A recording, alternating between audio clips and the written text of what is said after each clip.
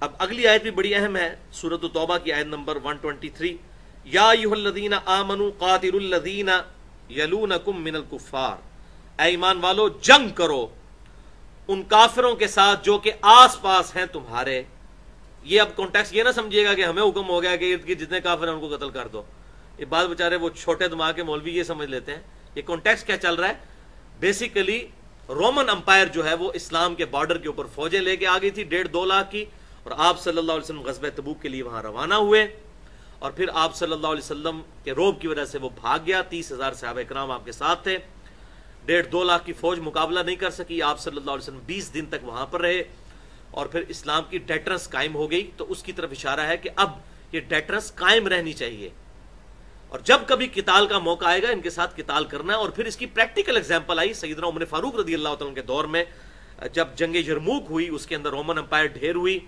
اور باقی Roman umpire جو ہے وہ جزیہ دینے پر آمادہ ہوئی اور پھر جنگ قادسیہ میں پرشین امپائر بھی، ایران بھی جو ہے وہ فتح ہو گیا اور تقریباً ساڑھے آٹھ ہزار مسلمان شہید ہوئے اس جنگ کے اندر۔ ابو بیدہ ابن سیدنا سعد ابن ابی وقاص رضی اللہ تعالیٰ مسلمانوں کی طرف سے امیر تھے۔ تو بہرحال یہ اس کی طرف اشارہ ہے کہ مستقبل میں تمہاری ڈیٹرنس کافروں کے خلاف قائم رہنی چاہیے۔ جب کبھی بھی قتال کا موقع آئے گا وَلْيَجِدُوا فِيكُمْ غِلْوَةً۔ اور چاہیے کافروں کو کہ وہ تمہاری طرف سے سختی پائیں۔ ذرا نرمی کا رویہ ان کے ساتھ نہیں کرنا۔ سختی کے ساتھ ان کے ساتھ پیش آنا ہے۔ مستقبل میں ابھی بڑے بڑے مار کے آنے والے ہیں۔ وَعَلَمُوا أَنَّ اللَّهَ مَعَ اور جان لو کہ بے شک اللہ تعالیٰ پرہیزگاروں کے ساتھ ہے۔ تو اعلائے کلمت الحق کے لیے کتال از دا سمم بونم آف اسلام اسلام کا ہائیسٹ گڈ سب سے اونچی، چوٹی، اچھائی کی وہ ہے قتال۔ کہ کوئی شخص اپنی جان لے کر اپنے رب کے حضور حاضر ہو جائے کہ اللہ یہ سب سے قیمتی چیز تھی میرے پاس، یہ میں تیری راہ میں قربان کرنے کے لیے میدان جنگ میں اتر آیا ہوں۔ کتال کے حوالے سے میں نے الگ سے بھی مسئلہ نمبر 25 کے نام سے گفتگو کی ہے، اس کے علاوہ بھی کافی لیکچرز ہیں۔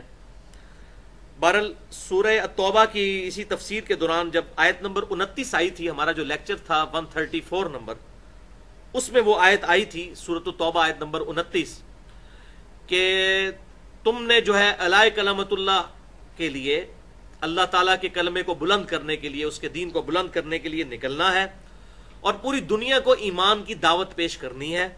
نمبر ایک، یہ آپشن ہے۔ ایمان کی دعوت پیش کرنی ہے، یا تو لوگ اسلام قبول کر لیں۔ نمبر دو، اگر اسلام قبول نہیں کرتے تو دب کر رہے ہیں اور جز یاد ہیں وہ چار دینار سالانہ ہوا کرتا تھا، میں نے ڈیٹیل کے ساتھ اس میں بتایا۔ اور اگر وہ جزیہ دینے پر آمادہ نہیں ہوتے تو پھر تیسرا آپشن ہے وہ کتال کے لیے تیار ہو جائیں۔ لیکن لیکن لیکن۔ یہ صرف اسی خلیفہ کو اختیار ہے کہ وہ یہ کام کرے جب اس نے اپنے علاقے کے اندر اسلام قائم کیا ہو۔ اگر کوئی ایسا خلیفہ مسلمانوں کا حکمران بن جاتا ہے جس نے مسلمانوں کے علاقے میں بدماشی کا قانون رائج کیا ہوا ہو اور مسلمانوں کا مال ہڑپ کرتا ہو، مسلمانوں پر ظلم کرتا ہو، وہ کس منہ سے کہہ سکتا ہے کہ آپ اپنا ملک میرے حوالے کرو؟ جس طرح آج اکثر مسلمان ملکوں کی، بلکہ اگر میں کہوں سارے مسلمان ملکوں کی یہی حالت ہے تو یہ جھوٹ نہیں ہوگا۔ جب تک کہ اپنے ملک کے اندر اسلام نافذ نہ کریں۔ تو خلفہ راشدین کا جو قتال تھا، یہ بالکل ڈیفرنٹ تھا۔ خلف راشدین سعید علی رضی اللہ تعالیٰ کی شہادت کے بعد جتنی بھی کتال ہوئے ہیں اللہ ماشاء اللہ وہ سب کے سب ایک سپر پاور کا آپ سمجھ لیں ایکسپلوئن تھا۔ جس طرح آج امریکہ ہے، اس کو پاور حاصل ہو گئی ہے، اس کی بدماشی پوری دنیا کے اوپر ہے۔ اس وقت خلفہ راشدین کے نیک جذبے کی وجہ سے مسلمانوں کو غلبہ حاصل ہو گیا تھا۔ خلفہ راشدین، تو آپ دیکھیں کس طرح کی زندگی تھی ان کی۔ زہد کی زندگی تھی، پیون لگے وہ کپڑے پہنا کرتے تھے۔ تو کوئی شخص کھڑے ہو کر بھی ان کو پوچھ سکتا تھا کہ آپ یہ کرتا کہاں سے آپ نے سلوایا؟ سیدنا عمر رضی اللہ تعالیٰ کا دور دیکھیں۔ ٹھیک ہے؟ لیکن بعد کے لوگ جنہوں نے اپنے محل تعمیر کیے اور مرتے مرتے اپنی اولاد کو اپنا خلیفہ بنایا، وہ مرتے ہوئے اپنی اولاد کو خلیفہ بناتا رہا۔ اور یہ بنو میاں اور بنو عباس کا ایک ہزار سال کا مسلمانوں کا دور، یہ اسلام کی فتوحات کا دور نہیں ہے، یہ مسلمانوں کی فتوحات کا دور ہے۔ یہ بات سمجھ لیں۔ اور ڈاکٹر اقبال نے اس چیز کو پوائنٹ آؤٹ کیا، اس کے بعد مولانا مدودی رحمہ اللہ نے، کہ ہمیں تاریخ سے یہ سبق سیکھ لینا چاہیے کہ اسلام کا عروج الگ چیز ہے اور مسلمانوں کا عروج الگ چیز ہے۔ ویسے تو یہاں سلطنت مغلیہ کی حکومت نہیں رہی ہے۔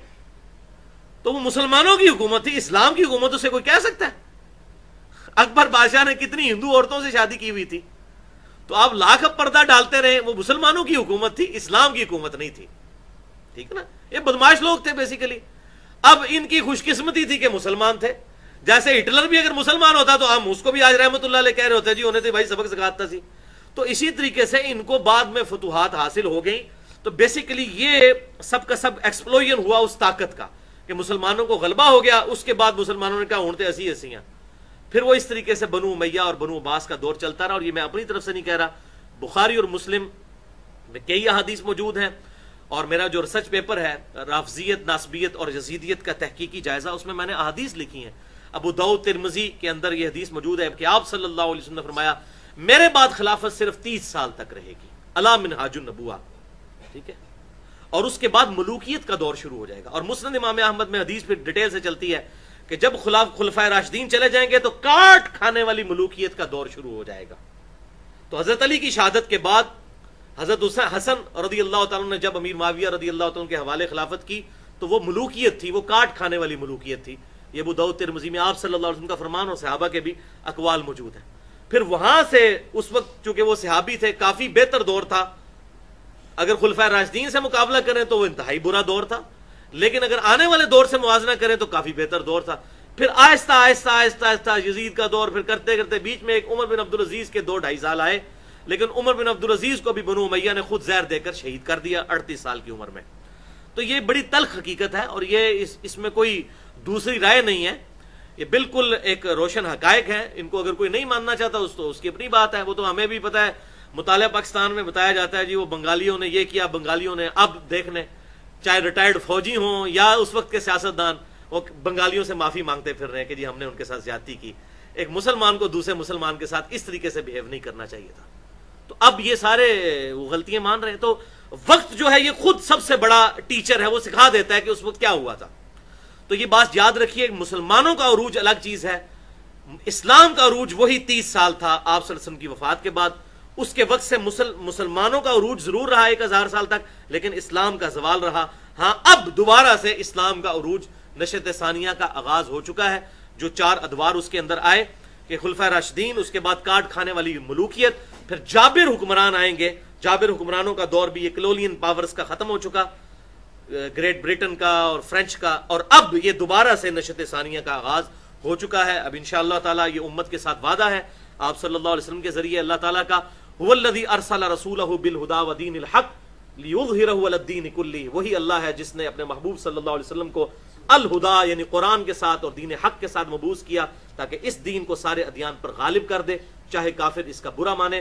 ابو دعود کے اندر مسند امام احمد میں صحیح صنعت کے ساتھ حدیث موجود ہے، قیامت اس وقت تک قائم نہیں ہوگی جب تک کہ میری اولاد میں سے، میری فاطمہ بیٹی کی اولاد میں سے میرے ہی نام پر یعنی محمد نام پر ایک شخص نہ پیدا ہو جائے۔ کہ جس کے باپ کا نام میرے باپ کے نام پر ہوگا، جس کی ماں کا نام میری ماں کے نام پر ہوگا، امام محمد مہدی۔ اور یہ وہ حدیث ہے جو اہل سنت اور اہل تشیعوں کے ہاں کامن حدیث ہے۔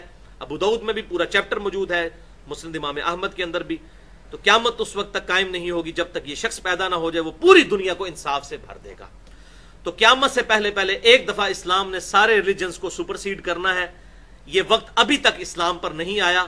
اسلام کی حکومت تین بر اعظموں تک ضرور رہی، لیکن اس کے بعد پھر مسلمانوں کو زوال آنا شروع ہو گیا، لیکن یہ وقت کبھی بھی نہیں آیا، لیکن قیامت سے پہلے یہ وقت انشاءاللہ ضرور آنا ہے۔ آپ صلی اللہ علیہ وسلم کا، سچے پیغمبر کا